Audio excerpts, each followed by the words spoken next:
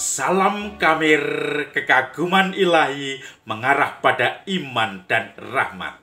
Tet, tet, tet, tet, tet, tet, tet, tet, Saya menjadi penari. Saya teringat kemarin misa di paroki pada saat misa Imlek tahun baru Cina ada anak-anak kecil yang menari. Tentu tariannya bukan tari seperti ini. Ini namanya tari Jawa yang cewek-cewek kecil-kecil tari kipas. Dengan kipas berlenggak-lenggok anak-anak kecil. Yang anak-anak kecil yang lain lagi tarinya tari barongsai tetapi hanya anak kecil jadi asal gerak saja combrang combrang combrang, combrang. Kalau anak kecil yang nari salah sampai fatal pun tidak akan masalah, malah tambah lucu. ya enggak, kita orang dewasa ketika melihat anak-anak nari yang satu belok ke kiri harusnya semuanya belok ke kiri ada satu yang belok ke kanan sendiri tangannya maka dia keliru tetapi kemudian penonton hanya tertawa, tidak jengkel, tetapi lucu saja karena itu anak-anak. Maka ketika anak-anak keliru tadi, dia gugup. Oh temannya ke kiri semua, saya ke kanan sendiri. Dia langsung cepat-cepat balik. Dan baliknya ketika dia balik, temannya sudah balik ke kanan lagi. Ini menjadi sesuatu yang tontonan menghibur. Saudara-saudari yang terkasih, Injil hari ini juga bicara tentang Yesus dan anak-anak. Para murid jengkel melihat anak-anak ini memaksa datang pada Yesus. Mereka mengusir anak-anak ini. Maka Yesus memarahi para murid itu. Biarkan anak-anak datang kepadaku, jangan usir dia. Sebab merekalah yang empunya kerajaan Allah. Barang siapa tidak menyambut kerajaan seperti anak kecil itu menyambutnya, dia tidak layak masuk dalam kerajaan. Apa yang dimaksud dengan anak-anak dan kerajaan? Kalau kerajaan Allah, surga, itu kalau kita tidak seperti anak-anak itu dalam hal kepolosan, dalam hal kejujuran, maka kita tidak akan masuk kerajaan Allah. Maka saudara-saudari yang terkasih, Yesus ingin mengangkat kepolosan anak-anak apa adanya di hadapan Tuhan dan sesama. Tidak dibuat-buat, tidak munafik, tidak hanya mau syarat-syarat ini dengan pikiran supaya saya mendapatkan reward atau hadiah atau keuntungan bagi saya. Supaya saya dipuji. Anak-anak tidak butuh pujian, tidak butuh reward dari segi uh, rohani. Tetapi tentu saja anak-anak kadang juga butuh reward permen, snack, dan seterusnya. Maka mari kita lihat bagaimana kepolosan anak-anak dalam berdoa.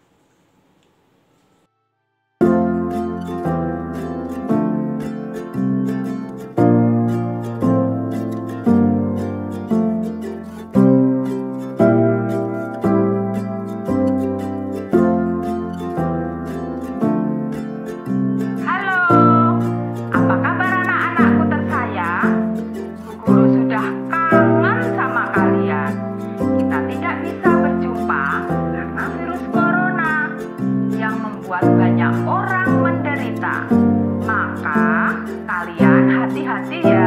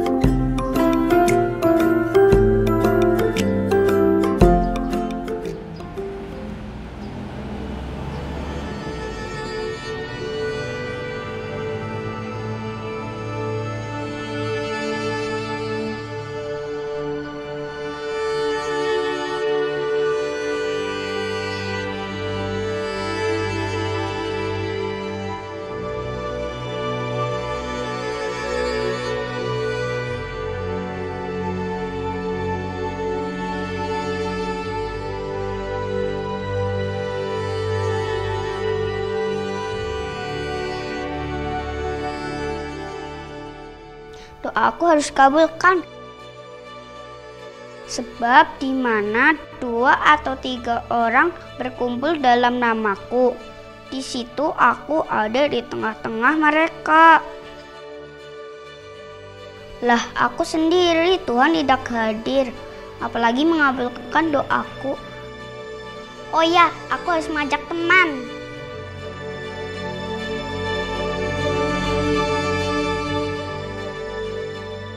Kisel, Grace, ayo kita berdoa. Gak mau bersama main game. Ayo lagi, Grace. Mau tapi dibelikan es krim. Gak punya uang ah. Ya sudah. Uangku cuma segini. Ya sudah. Ya sudah aku belikan. Asik. Salam Maria penuh rahmat Tuhan sertamu. Terpujilah engkau di antara wanita Dan terpujilah buah tubuhmu Yesus. Santa Maria Bunda Allah Doakanlah kami yang berdosa ini. Sekarang dan waktu kami mati Amin. Salam Maria penuh rahmat Tuhan sertamu. Terpujilah engkau di antara wanita Dan terpujilah buah tubuhmu Yesus. Santa Maria Bunda Allah Doakanlah kami yang berdosa ini sekarang dan waktu kami mati. Amin. Salam Maria, penuh rahmat Tuhan sertamu. Terpujilah engkau di antara wanita dan terpujilah buah Saudara-saudari yang terkasih, setelah melihat film anak-anak tadi, bagaimana berdoa, mencari teman untuk berdoa, sampai berkorban uang sakunya untuk membelikan es krim bagi temannya. Kita bertanya, Apakah selama ini hidup kita, doa kita hanya supaya kita mendapat es krim, mendapat keuntungan dari Tuhan, mendapat reward dari Tuhan, atau sungguh-sungguh dalam situasi kering, kekeringan, kegelapan, suasana mungkin kegagalan, kita tetap berdoa pada Tuhan. Entah itu mendapatkan reward dari Tuhan ataupun tidak entah itu menguntungkan kita ataupun tidak. Salam kamir, kekaguman ilahi mengarah pada iman dan rahmat.